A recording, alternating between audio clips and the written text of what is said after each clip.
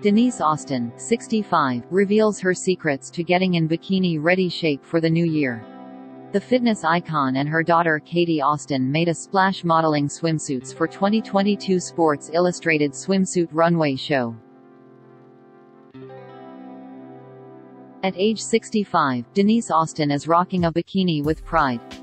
The renowned fitness instructor made a splash this summer when she and her daughter, Katie Austin, modeled two pieces on the catwalk for the 2022 Sports Illustrated swimsuit runway show in Miami. The 80s star told Fox News Digital it was a complete joy to team up with the 29-year-old, who has already made her mark as a fitness influencer on social media with her own app. Katie made her SI swimsuit debut in 2021 as part of their annual swim search.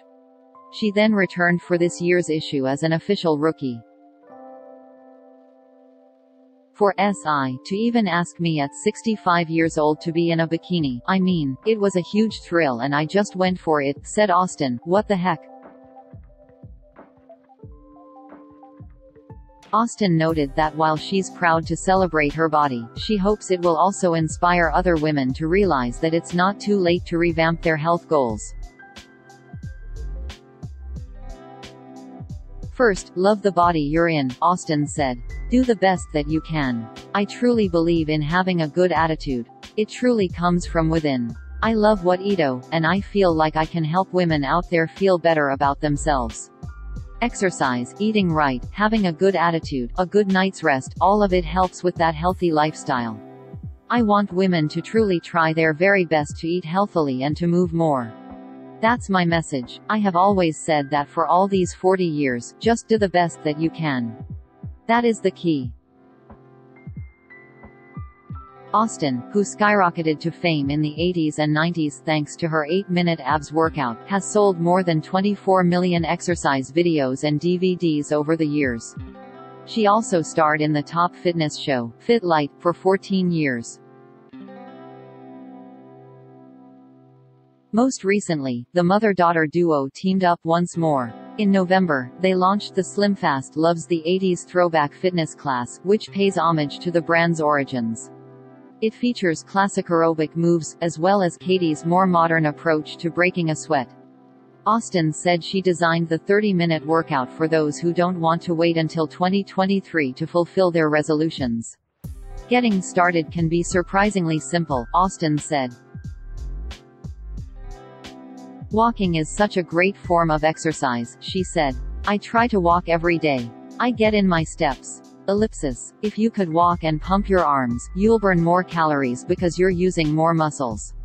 Ellipsis. But walking is just fine. I believe in three ways to stay in shape, cardio to burn some fat, toning to firm up your muscles and then stretching for improving your flexibility. Ellipsis. I tell people if they're just starting, exercise, three days a week. You will see a difference in your body. Make sure you do a little at a time. Take your time, ease into it.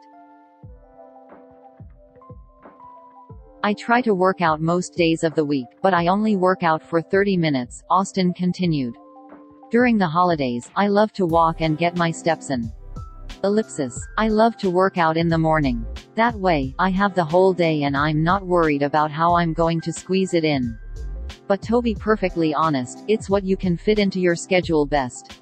That's why if you can just work out for 10 minutes in the morning and then another 10 minutes in the evening, that's okay, too. As long as it accumulates to about 20 to 30 minutes most days of the week. You'll be doing great. Ellipsis. Start small. Wake up maybe 10 minutes earlier than normal and squeeze in that 10 minute workout in the morning. Austin recommended reaching out to a loved one if you need extra encouragement. Exercising with a buddy, she said, can make the workout more enjoyable for some. I always call my sisters and ask, who wants to work out, or who's around to walk this week, she said. I think you should plan your workouts, too. Put it in your schedule, make it a part of your plan so you have it in your datebook, and it becomes a part of your life. It's all about lifestyle. All of this is to help you live a healthier lifestyle. So, make things more convenient for you and you'll make it stick that way. You'll do it more often and have fun doing it, too. And music is key. I love fun music. Ellipsis. My playlist is very diverse. I have music from Drake to Taylor Swift to Bruce Springsteen. Austin said that the most common mistake people tend to make in the new year is overwhelming themselves with too much too soon. I think it's a lot easier to start small and do little things like walk, Austin said. I think people try to do too much sometimes. It then becomes so complicated that it doesn't stick, you won't stay consistent, and you won't see a difference. Start three days a week and build yourself up to four days. Make your workouts fun, something to look forward to. That way you will stick with it. Sometimes it's hard to drive to a gym, she said. That's why I like to work out at home because it's so convenient. If it's convenient, it makes your life easier and you'll stick to it all year.